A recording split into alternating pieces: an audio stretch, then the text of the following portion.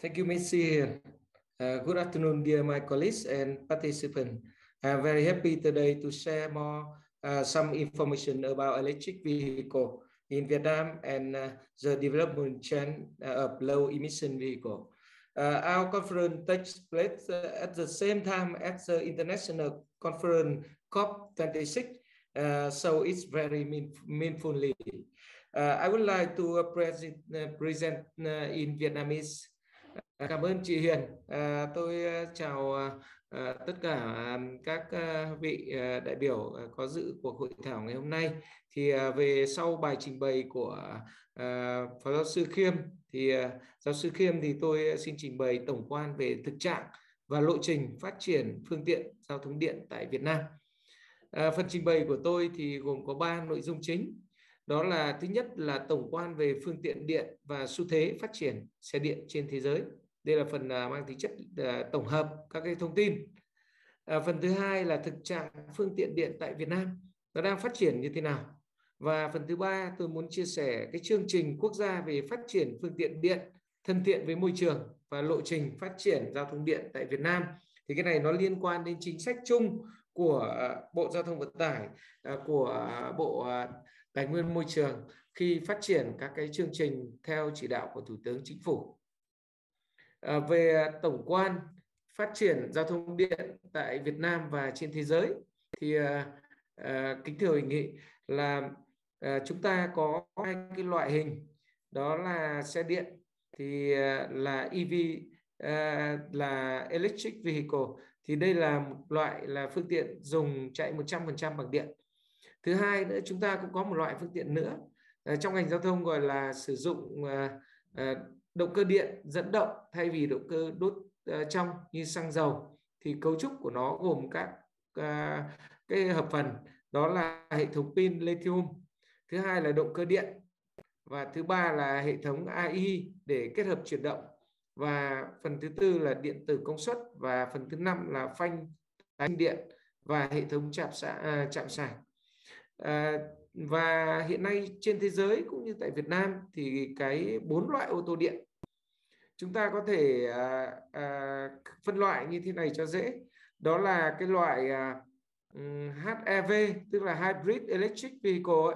thì cái loại này là là xăng dầu chạy lai với điện tức là sử dụng một phần năng lượng điện.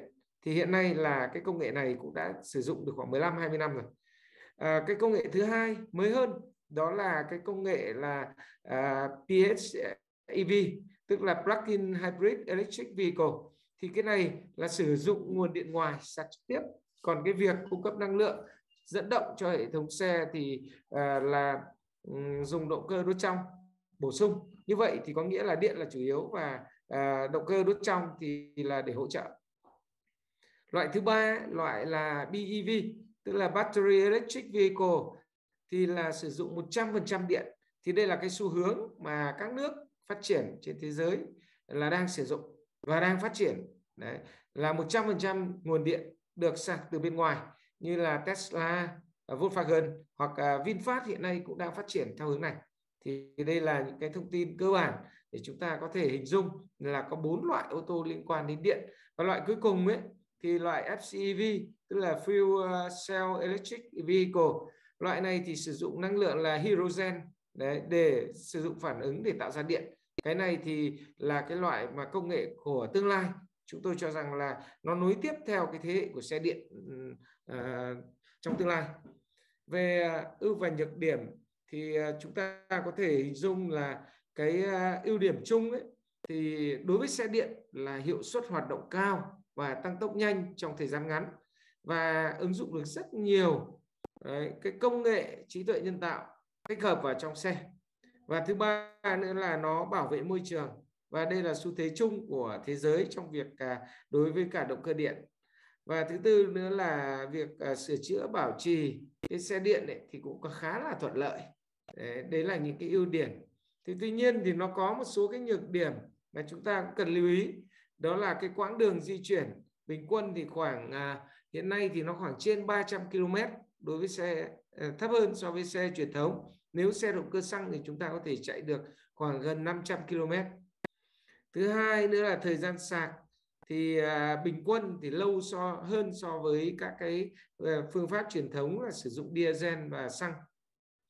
Và cái cơ sở hạ tầng chạm sạc và đặc biệt là cái công nghệ hydrogen thì còn ít và chưa phổ biến. À, hiện nay thì à, VinFast ở Việt Nam cũng đang phát triển một số cái chạm sạc để à, phục vụ cho cái sản phẩm à, mới của tập đoàn. À, một số cái thông tin về à, thị trường xe điện hóa của các nước trên thế giới. Thì chúng ta thấy rằng là các nước ở Bắc Âu thì cái tốc độ tăng trưởng rất là cao. Do cái số lượng cái cái volume của nó thì thấp nên là à, cái tốc độ tăng của nó khi mà tăng một số lượng nhỏ thì cũng làm cho cái tỷ lệ tăng trưởng rất là cao. Nhưng mà số lượng xe mà đăng ký mới thì nó tập trung vào Tây Âu và Bắc Mỹ Tây Âu Mỹ và Trung Quốc. À, như trên biểu đồ chúng ta thấy Trung Quốc là một quốc gia mà có tốc độ tăng trưởng về phương tiện điện đáng kinh ngạc. Đấy có thể hiện nay Trung Quốc trong vòng 3 năm đấy họ có thể lên tới khoảng 4 đến 5 triệu xe điện. Đấy là một tốc độ đáng là là kinh ngạc. Về à, à kế hoạch à, loại bỏ chạy xăng xe chạy xăng dầu ở các cái thành phố trên thế giới thì chúng ta biết rằng nhiều thành phố trong tương lai họ sẽ xây dựng các cái khu vực kiểm soát khí thải. Như vừa rồi à, à, giáo sư Khiêm cũng đã nói một số cái vấn đề về tiêu chuẩn khí thải phương tiện và Việt Nam chúng ta cũng sẽ dần dần hướng theo hướng khu vực ừ, hướng theo hướng đó. Có nghĩa là xây dựng các cái zero emission zone tức là các vùng mà không có khí thải. Và phương tiện nào đi vào thì chúng ta phải đặt các cái tiêu chuẩn hoặc là không gây ra khí thải rồi chúng ta sẽ thu phí đối với các phương tiện mà ờ, gây phát ra khí thải và phân vùng hoạt động riêng Đấy. thì hiện nay ở nhiều quốc gia đặc biệt như là khu vực à, tôi vừa với trình bày là Bắc Âu hoặc Na Uy, Slovenia, à, Anh rồi à, một số các nước khác ở châu Á như Ấn Độ, Nhật thì à, cũng đã tính đến cái việc là kiểm soát cái phương tiện chạy diesel, đấy, để phát triển phương tiện điện. Đây là xu thế của tương lai về à, phương tiện giao thông điện thì hiện nay trên toàn thế giới thì nó có khoảng, đâu đó khoảng 10 triệu xe điện, chiếm khoảng 1% tổng cái lượng phương tiện trên toàn cầu về xe ô tô và tốc độ tăng trưởng của xe điện của thế giới thì nó không phải là một con số, mà nó là ba con số, khoảng 400 lần từ năm 2010 đến 2020 theo số liệu thống kê của IEA năm 2020 đấy. Và ngoài ra thì uh, xe điện ấy, thì hiện nay là cái tốc độ bán theo dự tính của cái tổ chức Bloomberg um, thì họ dự tính là sẽ bán ra gấp 2,8 lần so với hiện nay. Đó là 28 triệu xe vào 2030 đây là một con số tăng tốc độ tăng trưởng uh, thần kỳ vì hiện nay là Ờ, cái ờ, số lượng mà ừ, phương tiện ừ, xe ô tô điện đã đang bùng nổ ở nhiều nước. Về dự báo tốc độ tăng trưởng phương tiện toàn cầu thì ờ, theo cái dự báo mà ừ, chúng tôi cũng có một số các cái nguồn đáng tin cậy thì cái tốc độ tăng của nửa đầu 2021 ấy, thì cũng tăng khoảng 160% ở trên toàn cầu và bán ra là khoảng 2,6 triệu xe và tốc độ này theo cái sơ đồ cái biểu đồ dự báo ấy, thì nó còn tăng rất là nhiều. Như quý vị nhìn thấy ở bên góc phải của màn hình ấy thì à, màu à, màu xám đó là xe xăng. Còn màu xanh nhạt là à, là xe điện. Đấy chúng ta có các bốn cái loại xe điện thì nó đang phát triển. Đấy và đặc biệt là cái xe điện mà sử dụng cái công nghệ hybrid hybrid thì là sẽ là xu thế của tương lai thứ hai phần thứ hai mà tôi muốn à, trình bày ở đây ấy, thì à, khi nghiên cứu về phương tiện điện của thế giới thì chúng tôi quay lại đánh giá ở Việt Nam Vậy thì xe điện ở Việt Nam có tiềm năng để phát triển hay không? Và xu thế nó có nằm ngoài cái xu thế chung của thế giới hay không? Để trả lời câu hỏi này thì chúng tôi có những cái cuộc khảo sát của Bộ trên cơ sở là số liệu của Tổng cục Đường bộ, của Công an, của Bộ Công an để cung cấp. Đấy thì chúng tôi Ờ, đặc biệt là lấy số liệu của Cục Đăng kiểm Việt Nam. Thì à, xe điện hiện nay ấy, thì là có khoảng 1,8 triệu xe đã được đăng ký do Bộ Giao thông Vận tải, à, Cục Đăng kiểm Việt Nam à, thống kê và chiếm 4,8% lượng số phương tiện đăng ký. và trong đó xe máy điện thì chiếm đến phần lớn khoảng 74% là 1,3 triệu xe còn xe đạp điện thì chiếm khoảng 0, chưa đến 0,5 triệu xe tức là nửa triệu xe. Còn ô tô điện thì uh, báo cáo với cả các đồng chí là hiện nay có khoảng hơn 1.000 xe 1.500 xe. Thì nó nằm ở các cái phương tiện xe buýt này rồi là một số xe thử nghiệm này. Đấy và các loại mà cung cấp theo kiểu như là diện dự án hỗ trợ của các đối tác. Đặc biệt là ừ, các đối tác đến từ Nhật Bản Hàn Quốc và như vậy vậy có thể thấy rằng là chín gần như 99% xe điện hiện nay trên thị trường Việt Nam không phải là ô tô mà là xe máy và xe đạp. Ờ, đấy con số mà thống kê mới nhất mà chúng tôi ờ, muốn ờ, chia sẻ. Cái phần thứ hai thì với 1.500 cái ô tô điện mà tôi vừa báo cáo ấy, thì là chủ yếu là ô tô điện hoàn toàn tức là à, cắm điện hoàn toàn theo cái ờ, dạng là không có like động cơ like. Và à, có một số thì là xe hybrid cũ. Thị trường à, nhập khẩu cái xe điện thì hiện nay là um, chủ yếu là các cái dòng xe hybrid phổ thông như là Corolla Cross của Toyota. Đây là một cái loại xe điển hình trong cái sử dụng cái uh, động cơ hybrid. Ngoài ra thì doanh nghiệp trong nước doanh nghiệp nội địa thì VinFast đã ra những sản phẩm đầu tiên. Đấy, cả bít điện lẫn xe điện VF E34 và sắp tới sẽ ra dòng E35 E36 thì đấy là một số cái thông tin. Thì chúng tôi à, thấy rằng là là Việt Nam ấy, hiện nay cũng đang là một trong những nước quốc gia sau Trung Quốc và sau Mỹ thì chúng ta đã có cái doanh nghiệp sản xuất xe điện thành công. Và mẫu xe của VinFast E34 ấy, thì đã có cái lượng đặt hàng kỷ lục do cái chiến dịch marketing khoảng trên 25.000 xe sau 3 tháng mở bán. Và hệ thống chạm sạc thì VinFast cũng đang phát triển rất là mạnh mẽ tại các cái khu vực mà do VinFast đầu tư đấy là chủ yếu. À, các chung cư các trạm ờ, các cái trung tâm thương mại của VinFast ngoài ra thì đang nghiên cứu để à, xây dựng ở các cái trạm xăng dầu với 2.000 trạm sạc và chiến lược của VinFast sẽ là 4 vạn cổng sạc tại các chung cư và các cái khu vực công cộng đây là một cái chiến lược ờ, ờ, rất là bài bản và mạnh mẽ về thị trường ờ, ô tô Việt Nam so với khu vực thì phải nói rằng Việt Nam rất là sơ khai đối với xe điện. Chúng ta có hai loại xe điện với 1.500 xe. Còn xe thuần điện thì chúng ta như thống kê nó chưa đến 1%. Trong khi Thái Lan với dân số cũng xem xem Việt Nam ấy, à, là họ đã có trên 35% à, 35.000 xe tức là gấp khoảng 30 lần so với Việt Nam chúng ta. Đấy, gần 30 lần. Và phương tiện điện của họ thì 88% cũng chủ yếu là phương tiện à, điện hybrid.